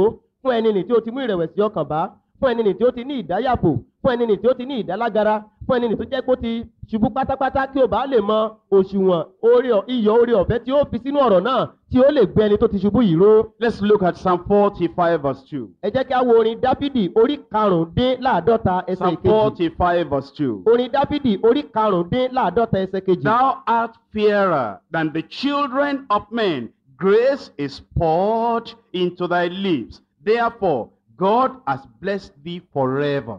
ìwọ yanjú ju àwọn ọmọ ènìyàn lọ a dá oore ọ̀fẹ́ sí ọ ní ètè nítorí náà ni ọlọ́run ń bùkún fún ọ láéláé Ultimately, this is talking about Jesus Christ. dájúdájú náà nípa jésù kristi ni ẹni yìí ń sọ nípa rẹ̀ You heard when the heavens opened and the voice of the Father spoke from heaven and said, This is my beloved Son in whom I am well pleased. This is one of the reasons. o ti gbọ́ ohun nì nígbà tí ọ̀run ṣí sílẹ̀ tí òun náà sì dáhùn wípé èyí yìí ni àyànfẹ́ ọmọ mi ẹni tí inú mi dùn sí gidigidi ọ̀kan nínú àwọn ìdí náà nìyí. Grace is poured into thy lips. a dá oore ọ̀fẹ́ sí ọ ní ètè That's why they always wanted to listen to Jesus Christ. ìdí nìyí tó fi jẹ́ pé nígbà gbogbo wọn máa ń fẹ́ tẹ́tí sí jésù kristi No olúwa. matter what you have done, no matter where you are coming from, no matter your problem, no matter your discouragement, you always want to be with Jesus Christ. Ohun yòówù kí o ti ṣe ibi yòówù kí o ti ń bọ̀ ohun yòówù kí o jẹ́ ìṣòro rẹ ìrírí yòówù tí o ti ní nígbà gbogbo àwọn èèyàn máa ń fẹ́ gbọ́ ti jésù See kristi. him talking to the children. ìwọ wò bí ó ti bá àwọn ọmọdé sọ̀rọ̀ See náà him talking to those women. wò bí ó ti bá àwọn obìnrin wọn ní sọ̀rọ̀ See him ministering to that woman by the well. wò bí ó ti ṣe iṣẹ́ ìránṣẹ́ fún obìnrin ní lẹ́bàá See kànga him talking to the strangers. wò bí ó ti bá àwọn àlejò sọ̀rọ̀ See him talking to the doubters. wò bí ó ti bá àwọn oníyèméjì sọ̀rọ̀ See him talking to those who are discouraged. wò bí ó ti bá àwọn tí ó ní ìdáyàpò sọ̀rọ̀ See him to those talking to those that have problems. wò bí ó ti bá àwọn tí ó ní ìṣòro sọ̀rọ̀ See him talking to his disciples when he caught them in a particular mistake. ìwọ wò bí ó ti bá àwọn ọmọ ẹ̀yìn rẹ̀ sọ̀rọ̀ nígbà tí ó mú wọn nínú àṣìṣe kan Even when he rebuked them, they dressed closer to him. nígbà tí ó tilẹ̀ bá wọn wí ńṣe ni wọ́n tún súnmọ́ tímọ́tímọ́. Even when he said, Why is it you have little faith? The way he said it, they never ran away. They drew closer to him again. Nígbà tí ó tilẹ̀ tún wí fún wọn wípé èé ṣe tí ẹ fi jẹ́ onígbàgbọ́ kékeré ọ̀nà tí ó gbà sọ kò mú kí wọ́n sá lọ. Ńṣe ni wọ́n túbọ̀ súnmọ́ tímọ́tímọ́ sí i A person who can correct with grace, ẹni tí ó lè tọ́ni sọ́nà pẹ̀lú oore ọ̀fẹ́. Chastise with grace, tí ó lè báni wí pẹ̀lú oore ọ̀fẹ́. Rebuke with grace, tí ó lè báni wí ní ọ̀nà pẹ̀lú oore ọ̀fẹ́. And point you in the right direction with tí ó sì grace. tọ́ka ọ̀nà tí ó tọ́ fún ọ nípa pẹ̀lú oore ọ̀fẹ́. Grace is poured into thy lips. a dá oore ọ̀fẹ́ sí ọ ní ètè Let us see the result of that in Luke chapter 4, ẹ jẹ́ kí a wo àbáyọrí èyí nínú ìwé lúùkù orí kẹrin verse 22. ẹsẹ̀ ìkejìlélógún and all bear him witness and wondered at the gracious words which proceeded out of his mouth. gbogbo wọn sì ń gba ẹ̀rí rẹ̀ jẹ́ wọ́n sì ń kíyèsí ọ̀rọ̀ oore ọ̀fẹ́ tí ó jáde lẹ́nu rẹ̀ I pray that God will pour the words of grace into our mouth. Mò ń gbàdúrà wípé kí ọlọ́run kí ó da ọ̀rọ̀ oore ọ̀fẹ́ sí wa lórí That from tonight, if our words have been causing heat in the hearts of people before, now our words will have a cooling effect in the hearts of people. pé bí ó bá jẹ́ pé ọ̀rọ̀ wa ti ń da iná lé àwọn èèyàn lórí tẹ́lẹ̀ láti òní lọ ọ̀rọ̀ wa yóò máa tu àwọn èèyàn lára. Job chapter 6, jóòbù orí kẹfà reading from verse 25. à ń kà á láti ẹsẹ̀ ìkẹẹ̀ẹ́dọ́gbọ̀n. Job chapter 6, verse 25. jóòbù orí kẹfà ẹsẹ̀ ìkẹẹ̀ẹ́dọ́gbọ̀n. How forcible are right words, but what does your arguing reprove?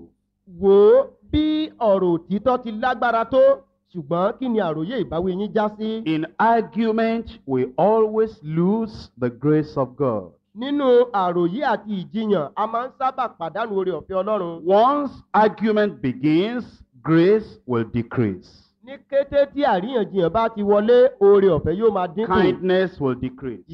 yóò máa dínkù. Once argument begins, ní kété tí àríyànjiyàn bá ti bẹ̀rẹ̀. compassion, considering one another, will decrease. ìkáàánú gbígba tí ọmọnìkejì rò yóò dínkù. That's why it says if your words are right, they'll be forcible. They'll have a strong influence. But once it degenerates into argument, the purpose is lost. Ìdí nìyí tí ó fi wí pé bí ọ̀rọ̀ rẹ bá jẹ́ ọ̀rọ̀ òtítọ́ yóò ní agbára gidigidi yóò kún fún ipá àti agbára nínú ayé àwọn ènìyàn ṣùgbọ́n bí ó bá ti di ti aláròyé tàbí àríyànjiyàn yóò bàjẹ́. Proverbs chapter 16, òwe orí kẹrìndínlógún reading from verse 24. láti ẹsẹ̀ ìkẹrìnlélógún. Proverbs chapter 16, verse 24. òwe orí kẹrìndínlógún ẹsẹ̀ ìkẹrìnlélógún. Pleasant words are as an honeycomb, sweet to the soul, health to the bones. ọ̀rọ̀ dídùn dàbí afárá oyin ó dùn mọ́ ọkàn ó sì ṣe ìlera fún egungun. Many people every day they are looking for blood tonic. They are looking for a kind of tonic that will make us strong. ọ̀pọ̀lọpọ̀ àwọn èèyàn lójoojúmọ́ ni wọ́n ń wá oògùn atẹ́jẹ̀ṣe tí yóò mú kí ẹ̀jẹ̀ wọn jí pépé kí wọ́n sì lágbára. My brother, you give your wife money. You say you are growing lean. You are not, uh, you know, as you used to be. Go and buy tonic.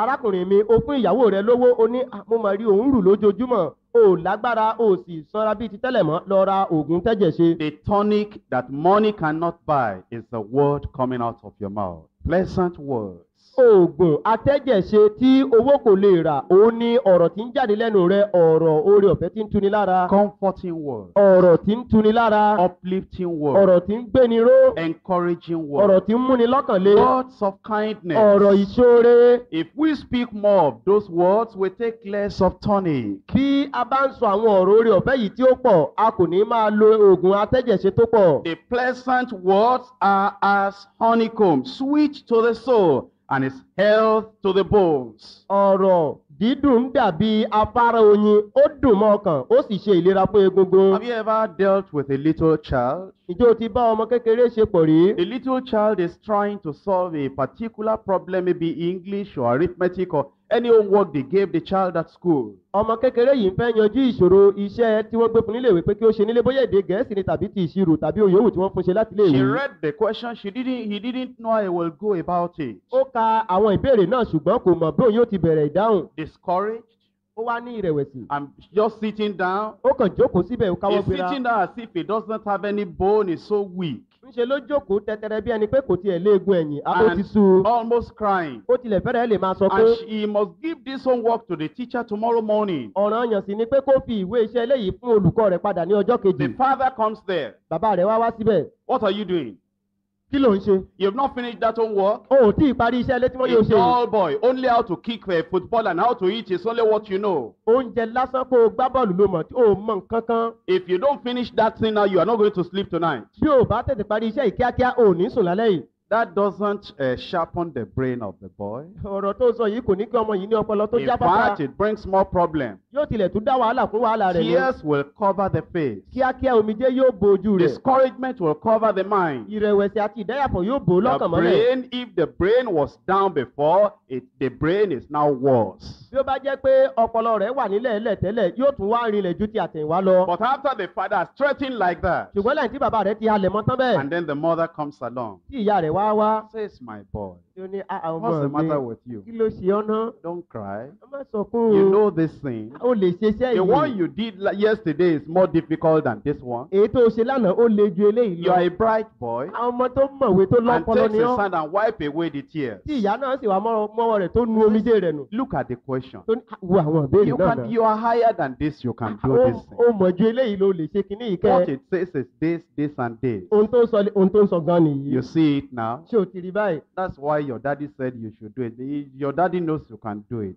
Ìdí nìyí tí bàbá rẹ̀ sọ pé o ṣe é kíákíá ó bàbá rẹ̀ kúkú o lè ṣe é All ni of a sudden, the bones that were weak before, they become strong. lójijì egungun tó ti rẹ̀wẹ̀sì tẹ́lẹ̀ yóò wá nílera The hand that was shaking when holding the pencil before, the hand is now firm. ọwọ́ tí ó ń gbọ̀n jìnnìjìnnì nígbà tó di ẹlẹ́ẹ̀dì kọ̀wé mú tẹ́lẹ̀ ọwọ́ náà ti wá lágbára And báyìí while the child has done it halfway, the mother said, That's it. You- are getting it. Th- That's exactly what you are to do. Nígbà tí ọmọ yìí bá sì ṣe dé ìdajì tí ìyá rẹ̀ wò tó ní áá ọmọ ọmọ tó dáa ni bá a ṣe ń ṣe gan náà ló ṣe And the yẹn child begins to smile. ọmọ náà sì bẹ̀rẹ̀ sí rẹ́rìn-ín Before you know what is happening, the child has finished the problem. kí o tó mọ ohun tó ń ṣẹlẹ̀ ọmọ náà ti parí iṣẹ́ tó ń ṣe yìí Pleasant words. Oh. They are sweet to the soul and health to the bones. ọ̀rọ̀ dídùn ó dàbí apára oyin ó dùn mọ́ ọkàn ó sì ṣe ìlera fún egungun We are the people killing our children with the words coming out of our mouth. àwa ni à ń pa àwọn ọmọ wa run nípa ọ̀rọ̀ tí ń jáde lẹ́nu We wa are the one discouraging the workers with the words coming from our mouth. àwa ni à ń mú ìrẹ̀wẹ̀sì bá àwọn òṣìṣẹ́ nípa ọ̀rọ̀ tí ń jáde lẹ́nu wa Pleasant words. ọ̀rọ̀ dídùn Words of grace. ọ̀rọ̀ orí ọ̀fẹ́ Words of love. ọ̀rọ̀ ìfẹ́ Words of ọ̀rọ̀ kindness. ìṣoore It will build your family. yóò máa gbé ẹbí rẹ ró It will unite your family. yóò mú ẹbí rẹ wà ní It will ìṣọ̀kan make your children run.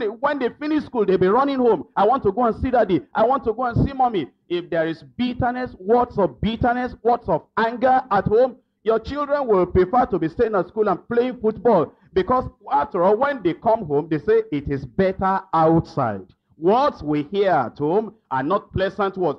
If you bring pleasant words into the family, the children will be running to the house when they come out of school. nígbà tí àwọn ọmọ rẹ bá jáde ní ilé ìwé wọn máa sáré bọ̀ nílé tètè ni wọn ò ní máa ṣeré lójú ọ̀nà. Nítorí pé ọ̀rọ̀ dídùn ọ̀rọ̀ orí ọ̀fẹ́ ni ó ń jáde lẹ́nu rẹ sí wọn lójoojúmọ́. Ṣùgbọ́n bí ó bá jẹ́ ọ̀rọ̀ kíkorò ni nígbà tí wọ́n bá jáde nílé ìwé wọn wí pé kí á tiẹ̀ máì tí ì jáde ni tàbí kí wọ́n máa gbá bọ́ọ̀lù. Nítorí wọn wí pé òde ó sàn ju ilé lọ ṣùgbọ́n bí ọ̀rọ̀ orí ọ̀fẹ́ bá ń jáde lẹ́nu rẹ wọn ò máa tètè wá sílé. The mouth of a Christian should always utter words that are spoken with grace. Ọ- ẹ- ẹnu onígbàgbọ́ gbọ́dọ̀ máa sọ ọ̀rọ̀ jáde pẹ̀lú orí ọ̀fẹ́ ọlọ́run. Gracious speech should be a habit. Whether you are under persecution, in a stressful situation, at home with your wife, with your husband, with your child, or with your neighbor. ọ̀rọ̀ tí ó kún fún oore ọ̀fẹ́ gbọ́dọ̀ di bárakú fún wa yálà a wà lábẹ́ inú níbí ni tàbí nínú ìnira ńlá nínú ilé pẹ̀lú aya tàbí pẹ̀lú ọkọ pẹ̀lú tàbí pẹ̀lú ọmọ tàbí aládùúgbò rẹ. Let your speech always be gracious. jẹ́ kí ọ̀rọ̀ rẹ kún fún oore ọ̀fẹ́ nígbà gbogbo. Always with grace. jẹ́ kí ó máa dàpọ̀ mọ́ oore ọ̀fẹ́. It is the result of the heart that is already changed by the grace of God. èyí jẹ́ àbáyọrí ọkàn tí oore ọ̀fẹ́ ọlọ́run ti yí padà. It means your speech will be spiritual, ó túmọ̀ sí pé ọ̀rọ̀ rẹ yóò jẹ́ ti ẹ̀mí wholesome, yóò jẹ́ ọ̀rọ̀ tí ó mọ́ fitting, yóò jẹ́ ọ̀rọ̀ tó gún régé very kind, yóò jẹ́ ọ̀rọ̀ ìṣoore sensitive. yóò jẹ́ ọ̀rọ̀ tí ó mọ̀ nípa àwọn ẹlòmíràn tí ó mọ́gbọ́n dání. What it means about sensitive is that you look at somebody's face and you know that already the person is down, the person is sorrowful. You wanted to say something before and you see that that thing may increase the sorrow. You are very sensitive. You'll keep that thing. You may say it in another way at another time. ohun tí ó ń sọ nípa ọ̀rọ̀ tí ó mọ́gbọ́n dání tàbí tí ó ń gba tẹlòmíràn rò ni pé nígbà tí ó fẹ́ bẹ́ẹ̀ nìkan sọ̀rọ̀ kan tí ó wá wò ó tí ó wojú rẹ̀ tí ó rí i pé ó ní ìrẹ̀wẹ̀sì tàbí ìdáyàfò tí o wá wípé àkókò yìí kọ́ ni yóò tọ́ láti sọ̀rọ̀ ọ̀rọ̀ yìí o wá o kò wá sọ̀rọ̀ náà ní àkókò náà ó túmọ̀ sí pé o ń sọ̀rọ̀ tó mọ́gbọ́n wá. The word is purposeful. ọ̀rọ̀ náà sì jẹ́ èyí tí ó ní ète It is complementing. ó jẹ́ ọ̀rọ̀ tí ń gbéni ró And it is gentle. ó sì jẹ́ ọ̀rọ̀ It jẹ́jẹ́ is truthful. ó jẹ́ ọ̀rọ̀ òtítọ́ It is loving. ó jẹ́ ọ̀rọ̀ ìfẹ́ It is ó thoughtful. jẹ́ ọ̀rọ̀ àròjinlẹ̀ Never bitter.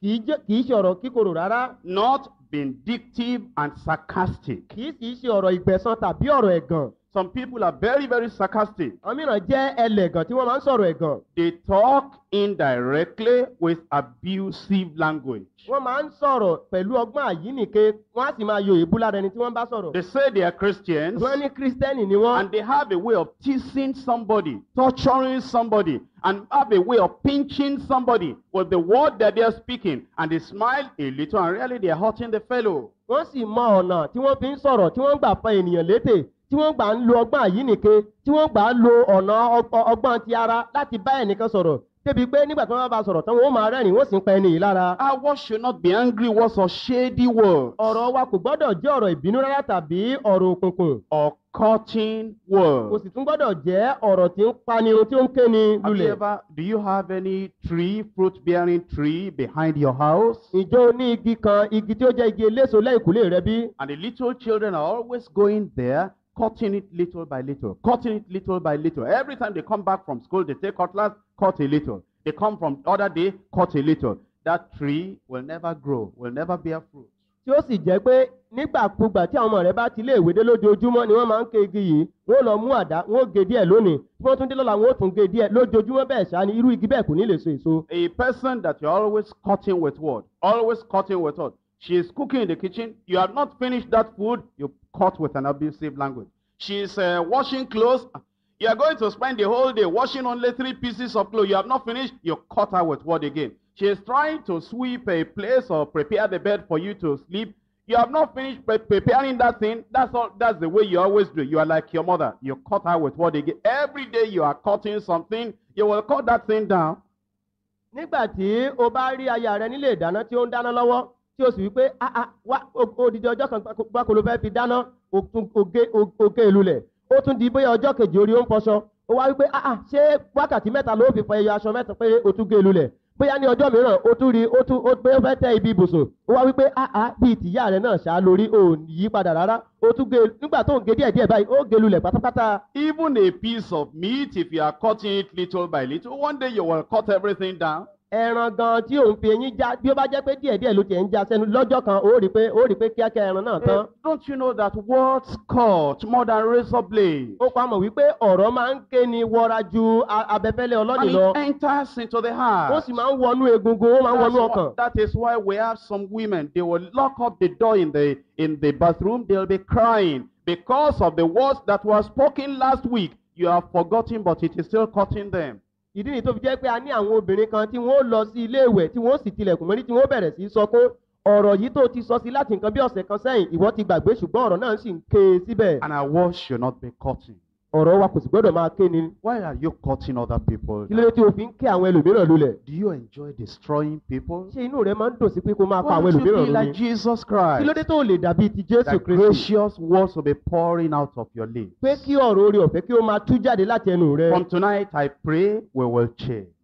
láti àṣálẹ̀ yìí lọ mò ń gbàdúrà pé a ó yí padà. All the criticism, all the cutting, all the discouragement. Why are we doing like that? It's only wicked people that will continue wickedness. gbogbo ìwà ìdánilẹ́jọ́ gbogbo ẹ̀mí ìpanirun gbogbo fífi ọ̀rọ̀ banijẹ́ àti ọ̀rọ̀ búburú kò yẹ kí ó máa jáde lẹ́nu wa ènìyàn búburú ni ó yẹ kí ó máa hùwà búburú. Let's look at point three ẹ jẹ́ ká wo kókó kẹta answering to edify. dídáhùn láti gbéni ró Answering to edify. dídáhùn láti gbéni ró. You see, whenever you answer somebody, make sure that the answer you give that person is to edify. nígbàkúgbà tí o bá dẹ ẹnìkan lóhùn rí dájú pé ìdáhùn tí o fún onítọ̀hún wà láti gbé e ró. It's to build up. o ní láti kọ́ ọ kí o It's gbé e to ró. challenge the person. pé láti gbé ẹni yìí níjà. Is to make somebody who is, uh, you know, getting discouraged, to make the person put more strength. àti láti mú kí ẹnìkan tí ó ti ní ìrẹ̀wẹ̀sì àti ìdáyàpò kí ó tají kí ó ní okun sí i. Don't you see sometimes when when they are running. o kò á rí nígbà mìíràn nígbà tí àwọn èèyàn bá ń sáré And ìje then there are spectators on the side. tí àwọn èrò òwòrán sì tò sí ẹ̀gbẹ̀ẹ̀gbẹ́ orí And pápá náà these people, they are running and running. tí àwọn èèyàn wọ̀nyí sì ń sáré tí wọ́n sáré And there gidigidi is a particular person that is coming first. ẹnìkan sì wà tí ó gba ipò àkọ́kọ́ nínú wọn And uh, but now she's getting tired. ṣùgbọ́n ẹni tí ó kọ́kọ́ wà níwájú yìí ó ti wá ń rẹ̀ ẹ́ And báyìí she's slowing ó down. sì wá ń fà sẹ́yìn And the díẹ̀díẹ̀ people that are sitting at the stadium, àwọn tí ó wá jókòó sí ilé sórí pápá àṣeré náà they begin to wọ́n shout. bẹ̀rẹ̀ sí pariwo More strength. Múra sí You are getting ó first. ìwọ lẹ́ni You are àkọ́kọ́ almost there. ó ti fẹ́ débẹ̀ tán All of a sudden, lójijì this person that is almost weak and getting tired ẹni yìí tí ó ti rẹ̀ tán tí ó ti fẹ́rẹ̀ lè ṣubú gan because of the shouting of these people on the side. nítorí ariwo àti ìgbóríyìn fún àwọn tí ó jókòó lẹ́gbẹ̀ẹ́ yìí Power will come in. agbára yóò tún You wọlé know what I'm talking about? ṣé ẹ mọ tí mò ń sọ nípa rẹ̀ Strength will come in. okun yóò tún wọnú ara And then egungun when rẹ̀ the person begins to run faster now, nígbà tẹ́ni yìí bá bẹ̀rẹ̀ sí sáré those gidigidi báyìí people they begin to clap. àwọn ìyá bẹ̀rẹ̀ sí begin to shout. wọ́n á bẹ̀rẹ̀ sí They say, courage, wọ́n á ní ọmọ ọkọ ni ọ́ ọmọ ọkọ ni ọ́ you can do ó lè it. ṣe é And then she's running yóò sì more. tún sáré sí And i then eventually she comes first. nígbò ṣe yóò wá gbapò àkọ́kọ́ It is the encouraging word that made that person to come first. ọ̀rọ̀ ìmúlọ́kànlé ni ó mú kí ẹni yìí gba ipò àkọ́kọ́ Encourage your wife at home. máa mú aya rẹ lọ́kànlé nílé Encourage your husband at máa mú home. ọkọ rẹ lọ́kànlé nílé Encourage your children at ẹ máa home. mú ọmọ yín lọ́kànlé When they are getting tired, nígbà tí ó bá ń rẹ̀ when they are weak, nígbà tí wọ́n bá jẹ́ somebody who has know is a weak in prayer. ẹni tí a mọ̀ pé ó jẹ́ aláìlera nínú àdúrà I know the devil will catch you. You are sleeping in prayer. Anyway, I, see me, I will go to heaven. I won't say because you are my wife, you are sleeping in prayer. If you want to go to hell, you will go to hell. That will not drive sleep away. That will bring more sleep. Mo mọ̀ ọ́ tẹ́lẹ̀ oorun sáàni tiẹ̀ ọwọ́ èṣù ti tẹ̀ ọ́ ná. Ṣùgbọ́n wò mí dáadáa wojú mi o. Ọrùn yẹn ń ó débẹ̀ bí èṣù bá mú ọ ìwọ nìkan ló mú lọ. Ń ó dọrùn tèmi. Ọ̀rọ̀ yìí kò ní mú kí oorun kúrò yóò mú kó túbọ̀ máa sùn sí ni. When you encourage a person, nígbà tí ó bá mú ẹnìkan lọ́kàn lé I know you worked hard so much in the afternoon. ah, mo mọ̀ pé o ti ṣiṣẹ́ púpọ̀ All the lọ́sàn-án clothes you had to wash, gbogbo aṣọ wọn ni tó ní all the láti fọ̀ food you cook. gbogbo oúnjẹ tó o ṣe I know if I had helped you, maybe you will not be as tired as this. mo mọ̀ bí ó bá jẹ́ pé bóyá mo ràn ọ́ lọ́wọ́ ni kò ní rẹ̀ ọ́ tó báyìí But prayer is very important. ṣùgbọ́n àdúrà ṣe So pàtàkì let us, and you have been doing well. Let us try. ẹ o sì ti ń ṣe dáadáa nítorí ẹ jẹ́ ká It's because of the prayer you have been praying for this family. That's how God is, has been helping us. Your prayer, we cannot do without your prayer in this family. àdúrà tí o ti ń gbà fún ẹbí yìí ni ọlọ́run ṣe ràn wá lọ́wọ́ títí di àkókò yìí àdúrà rẹ o à à lè ṣe ká má gbàrú àdúrà bẹ́ẹ̀ nínú ẹbí yìí. That person will wake up and pray, but the person we are discouraging, I know you will not pray. I know devil is going to catch you. Why are you say devil is going to catch your wife? Do you want devil to catch your wife?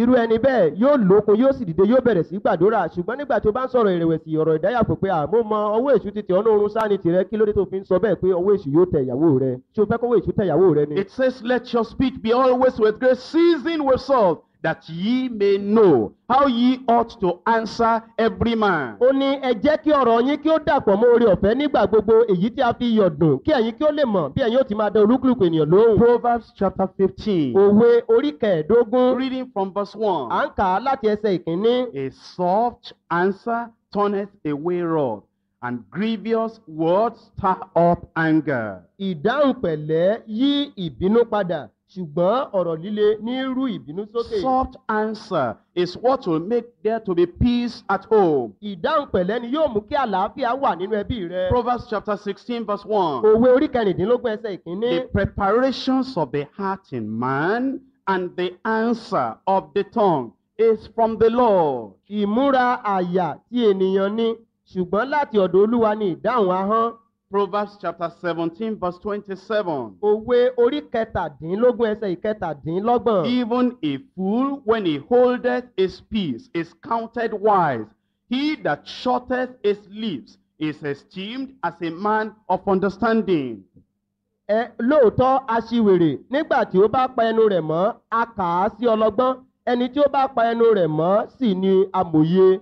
First Peter chapter 3, pétérù kínní orí kẹta verse 15. ẹsẹ̀ ìkẹẹ̀ẹ́dógún. But sanctify the Lord God in your hearts, and be ready always to give an answer to every man that asketh you a reason of the hope that is in you with meekness and fear. ṣùgbọ́n ẹ bọ̀wọ̀ fún kristi bí olúwa lọ́kàn yín kí ẹ sì múra tán nígbà gbogbo láti dá olúkúlùkù lóhùn tí ń béèrè ìrètí tí ó ń bẹ nínú yín ṣùgbọ́n pẹ̀lú ọkàn tútù àti ìbẹ̀rù. Edifying conversations reveal hearts that have been affected by the grace of God. àwọn ọ̀rọ̀ tí ó máa ń gbéni ró ni ó máa ń fi ọkàn tí ó kún fún oore ọ̀fẹ́ ọlọ́run hàn. We must lean much upon the Lord so that He will help us in our speech so that we can answer rightly and always edify people we speak to. a gbọ́dọ̀ sinmi lé olúwa láti lè ràn wá lọ́wọ́ nípa ọ̀rọ̀ sísọ kí a lè máa dáhùn bí ó ti tọ́ àti láti gbéni ró. So that you will edify your children, edify your husband, edify your wife, edify your friends, edify your neighbors.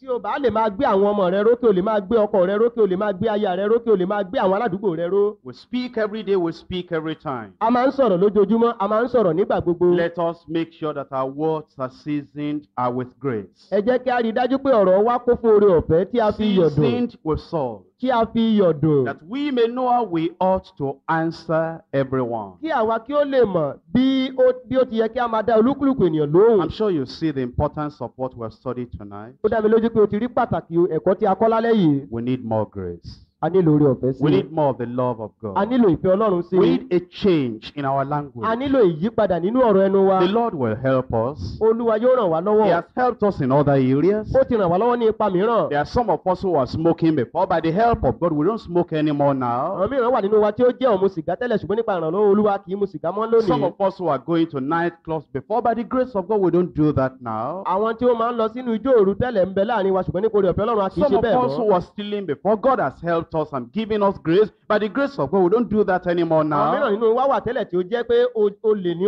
a máa ń jà ṣùgbọ́n lónìí nípa oore ọ̀fẹ́ ọlọ́run a kì í ṣe bẹ́ẹ̀ mọ́. If God has helped us in that area, can He not help us in this area? Bí ọlọ́run bá ràn wá lọ́wọ́ ní àwọn ipa tí a ti mẹ́nubà á lè ràn wá lọ́wọ́ nípa tí ń mẹ́nubà lónìí bí He will help us. dájúdájú yóò ràn wá Let's lọ́wọ́. rise up and talk to the ẹ Lord. jẹ́ kí a dìde dúró kí a bá olúwa sọ̀rọ̀. We need His help. a nílò ìrànlọ́wọ́ rẹ̀ We need His grace. a nílò oore ọ̀fẹ́ rẹ̀ That our language will change. pé kí èdè ẹnu wa kí ó lè yí padà Our conduct will change. kí ìwà wa kí ó lè yí padà Our lifestyle will kí change. ọ̀nà ìgbé ayé wa kí ó lè yí Our padà behavior will kí change. ìwà wa kí ó lè yí padà Our answering one another will change. kí ọ̀nà tí a fi ń dá ara wa lóhùn lè yí padà Everything we have been saying, everything we have been doing, everything will change. Kí ohun gbogbo tí a ti ń sọ tẹ́lẹ̀ ohun gbogbo tí a ti ń ṣe tẹ́lẹ̀ kí ó lè yí padà Let your conversation change. jẹ́ kí ọ̀rọ̀ ẹnu rẹ kí ó yí padà Let your answers change. jẹ́ kí ìdáhùn rẹ kí ó yí padà Let your relationships change. jẹ́ kí ọ̀nà ìbáṣepọ̀ rẹ kí ó yí If padà you have not been born again, bí o kò bá í di àtúnbí talk to the Lord and be born again. bá olúwa sọ̀rọ̀ kí o sì di àtúnbí Talk to the Lord bá olúwa sọ̀rọ̀ that you need a change pé o nílò ìyípadà and He will bring the change into your life. Yóò sì mú ìyípadà yìí wá sínú ayé rẹ. He will bring the change into your language. yóò mú ìyípadà yìí wá sínú èdè ẹnu rẹ. Let your speech be always with grace seasoned with salt, ẹ jẹ́ kí ọ̀rọ̀ yín kí ó dàpọ̀ mọ́ oore ọ̀fẹ́ nígbà gbogbo tí a fi iyọ̀ that ye may know how ye ought to answer every man. kí ẹ̀yin kí ó lè mọ̀ bí ẹ̀yin ó ti máa dá olúkúlùkù ènìyàn lóhùn